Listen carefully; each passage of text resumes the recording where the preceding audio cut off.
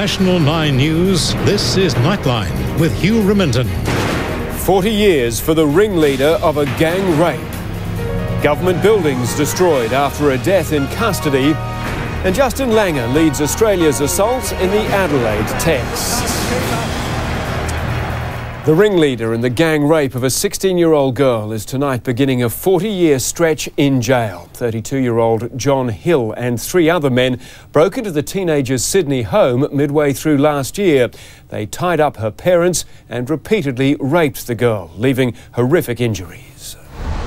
Even police say this case will haunt them forever. A very brutal attack, uh, very violent, and a matter that uh, one would not forget in one's lifetime. And 14 months on, the victim remains so traumatised she couldn't bear to face the ringleader in court today as he was sentenced. Police say the attack by Duncan Hill, an Aborigine, was racially motivated, targeting wealthy Asians. It's as if it happened yesterday. Uh, they're still very, very traumatised by what's going on. The 32 year old led the attack, the group of four robbing a first floor unit in Newington. They tied up the unit's owners, then turned on the 16 year old daughter. Over two hours, she was repeatedly raped by three of the four men. Her injuries so serious they required emergency surgery. Michael Finnane, the same judge who delivered a 55 year jail term to notorious rapist Bilal Skaf, said in my 35 years in the legal profession, I have not ever seen a rape victim with injuries which were so severe. He said despite a troubled past riddled with jail time and drug abuse, Hill showed no remorse or compassion. In my opinion, he is a cold, callous, vicious, and extremely dangerous criminal. At one stage of the Hill, clearly agitated, turned to the public gallery and threw a glass of water over members of the police force and the media, telling them to stop staring at him. He'll be eligible for parole when he's 62. Helen Kapelos for Nightline.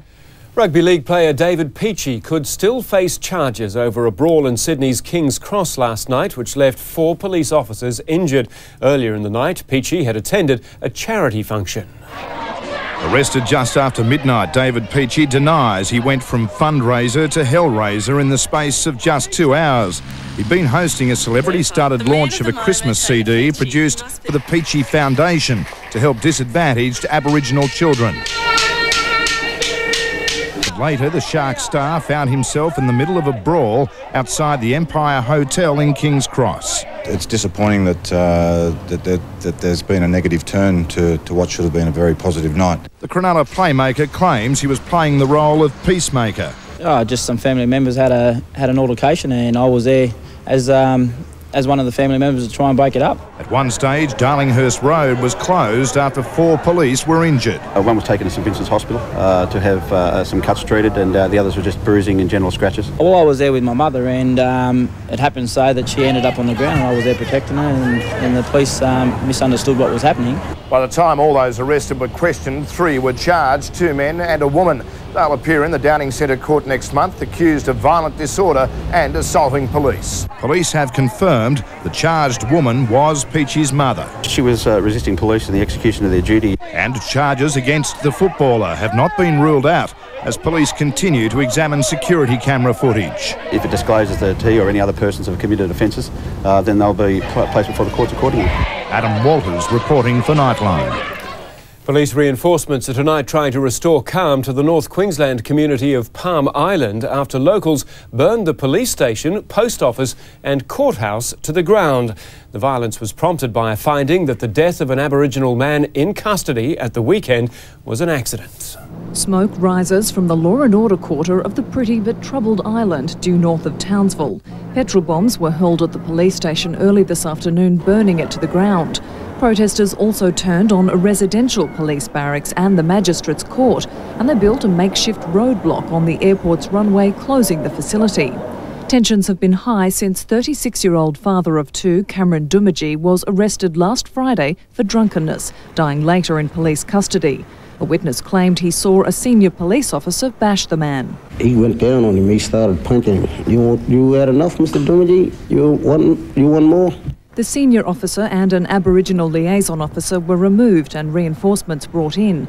Then on Wednesday, the first serious signs of trouble with the police and their station attacked.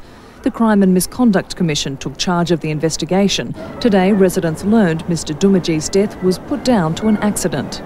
There was a scuffle, and the police officer and the person who has died then fell to the ground on some concrete steps.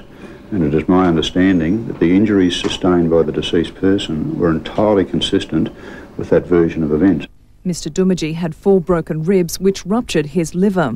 The 20 odd police on the island are now holed up in the hospital. They'll soon be joined by fellow officers from Townsville and emergency response team members from Cairns and Brisbane. Melissa Downs for Nightline. Opposition leader Mark Latham has tonight refused to rule out sacking Labor's Deputy Senate leader Stephen Conroy, complaining of continuing party room leaks.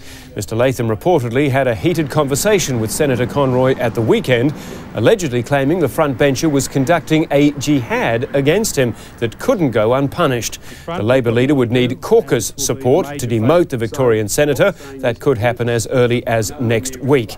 Mr Latham has again denied his job is under threat, despite speculation of a leadership spill before Christmas. An end of season trip to Bali has ended in tragedy. 23 year old Alan Henderson from Perth died after two jet skis collided just off the holiday resorts of Nusa Dua. The rider of the other jet ski, his soccer teammate Michael Setkoff, was questioned by police but then released. No one's really old enough to know this shock accident. Yeah. Don't know how to live without him. The fathers of both men are in Bali and convinced police there was nothing more to it than a tragic accident. An embarrassing lapse for Victoria's Department of Human Services. Two children in care have been found wandering in Melbourne's Crown Casino complex in the early hours of the morning. The 10 and 12 year old boys were stopped by Crown staff at 2 o'clock this morning, outside this music shop and metres from the entrance to the gaming floor. They were approached by Crown Security and uh, reluctantly they sort of gave up some information after a little while and said that they were under the care of the Department of Human Services and they came from Mount Evelyn. Security staff called a government emergency line and were allegedly told just to put the children in a taxi. Crown refused and called the police to escort them home. An angry uh, Premier has demanded answers. It deserves a complete and thorough report from the Department of Human Services, which I understand the Minister has sought. It's not good enough. I'm very concerned about what's happened. Uh, it should not have happened. I want to know every detail about it and uh, then I'll be taking, taking action. It is still not clear how the pair made the one hour journey from Mount Evelyn to Crown. And the opposition is outraged at the apparent lack of supervision that allowed them to wander so far from home. We've seen a 13 year old girl in care become pregnant. We've seen another 13 year old girl go missing and finish up dying in a tragic accident. The child protection system is truly in crisis. The person looking after the boys realised they were missing at 9pm and alerted the police. The department says they do not have the power to lock up those in their care. Mia Greaves for Nightline. A New South Wales court has reserved its decision in an appeal from Kathleen Folbig, the mother jailed for killing her four children. Her lawyers say the conviction and her 40 year jail term should be overturned. Many key players were at court for the hearing. Kathleen Folbig's ex-husband Craig, the investigating policeman Bernie Ryan, even Salvation Army chaplain Joyce Harmer, who still stays in touch with the convicted murderer. Yes, I do. I have regular contact with Everyone, it seemed, but Kathleen Folbig herself. She stayed in her jail cell where she's serving a 40 year sentence for killing her four children Caleb, Patrick, Sarah, and Laura. The 37 year old maintains her innocence, her lawyers arguing her conviction should be overturned because she should have faced separate trials for each of the murder charges, not one joint trial. They also claim the medical evidence was prejudicial. As for her sentence, if one stands back and looks, a term of 40 years for a profoundly disturbed woman who killed her four children is extraordinary. Prosecutors, though, argue the conviction should stand and that a life term could have been supported. So Kathleen Folbig's fate now lies in the hands of three appeal court judges. They've reserved their decision, leaving another chapter in this case still to be written. Nina Stevens reporting for Nightline. Two European backpackers have faced a Brisbane court for desecrating the city's Anzac Memorial.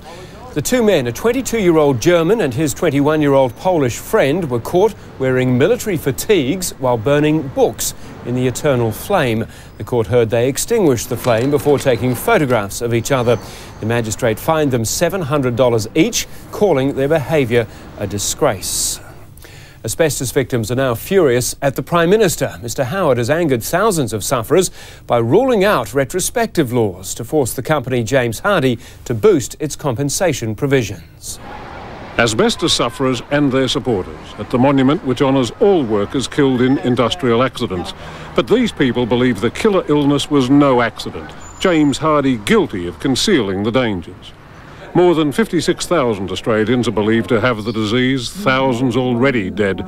But the Victims' Compensation Fund is now so short of money, it's planning to go into provisional liquidation. Retrospective laws, straight away, undo undo what Hardie's has put together. But although the Prime Minister agrees the situation is obscene, he says there's nothing the federal government can do to rush the issue. You can't just have uh, people arbitrarily deciding things without the law being properly applied. He's shouldering the responsibility of these immoral companies, and I find that abhorrent. There is a lot this government can do. It can, for number one, support a boycott on James Hardie's products until they come to uh, the plate and resolve this issue. And the Prime Minister says that'll be as soon as possible. He's pledged maximum federal government support to the agencies investigating the way in which James Hardie moved its operations beyond the reach of Australian law and whether that can be overturned. Peter Harvey for Nightline. Overseas now, and in the Ukraine, People Power appears to have won, at least for the time being, after a week of massive rallies in support of opposition leader Viktor Yushchenko. The country's Supreme Court has agreed to suspend proclamation of the presidential election result while it investigates claims the poll was rigged. People Power in all its strength. Hundreds of thousands of protesters who refuse to leave Kiev's main square until democracy wins. It's minus 13 and they're living in tents, but they say their country's future is at stake. We want to uh, show all the world and uh, show our government that we are going to protect our votes.